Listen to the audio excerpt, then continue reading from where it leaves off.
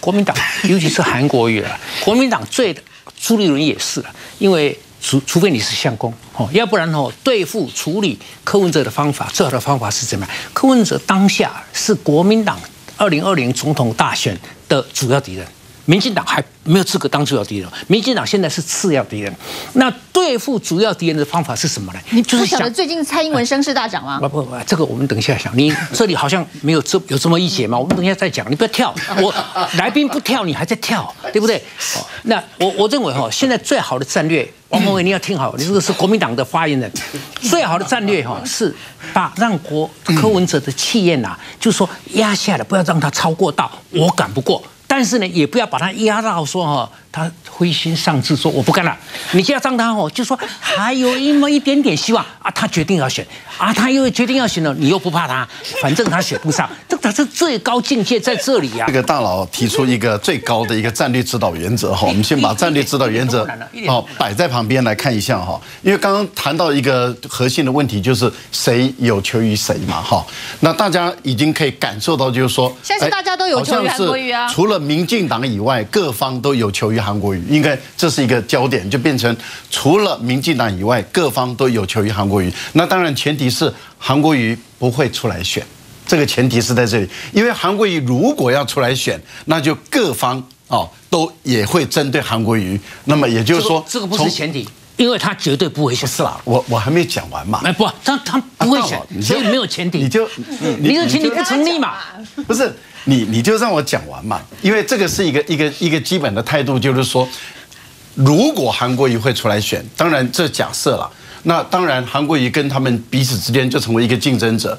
那由于韩国瑜不会出来选的话，那就形成了除了民进党以外，其他人都要有求于韩国瑜，都要去争取韩国瑜对他的支持嘛。这样的一个参会啊，其实对王金敏确实有帮助，确实有帮助，因为。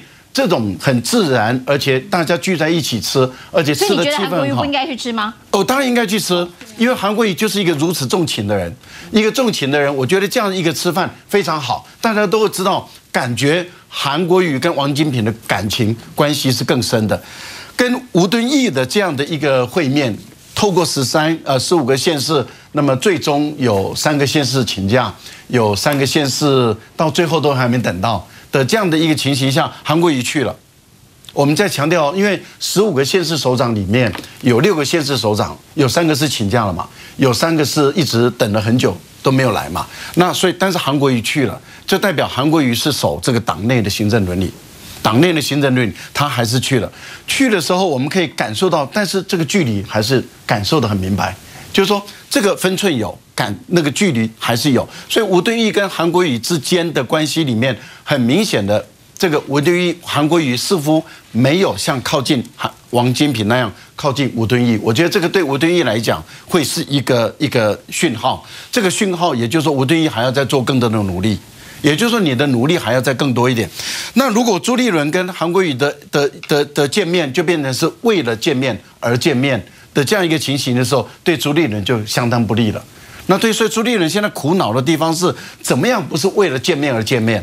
如果朱立伦要出来选，他有侯友谊的一个大力的支持，可他还是需要韩国瑜的一个政治性的一个态度。那这个样的情形下，对朱立伦来讲，他难度很高。对柯文哲来说，现在怎么办？因为韩国瑜在这个之前呢，他担任这个北农的总经理的时候，他跟柯文哲是长官部署的关系。那在这样的一个去韩就是推这个吴英岭的过程里面，柯文哲对于韩国瑜确实也是硬，很是也是力挺的。在这个力挺的过程里面，韩国瑜也降低了跟国民党之间关系。可是今天韩国瑜已经成为高雄市的市长，身份不一样了，他必须要考虑更多党的立场了，已经不再是个人的情感的问题，他把党的考虑的成分放到里面了，而且这成分比重越重越高，越重越来越高的情形下。那柯文哲要出来选总统，国民党也要推了推出一个人来选总统，韩国瑜面临一个非常难的一个抉择，也就是说情感上的抉择，跟他党所属的政党推出来的候选人的一个抉择。所以我个人是认为，韩国瑜在跟柯文哲的见面里面，他的难度高，是因为他加了国民党这个成分在里面了。那么之前两个见面没有问题，所以。柯文哲跟他的太太可以去啊云岭的家里面跟韩国瑜在那边啊吃饭啊，我而且在院子还玩得很愉快，连小狗的名字都知道。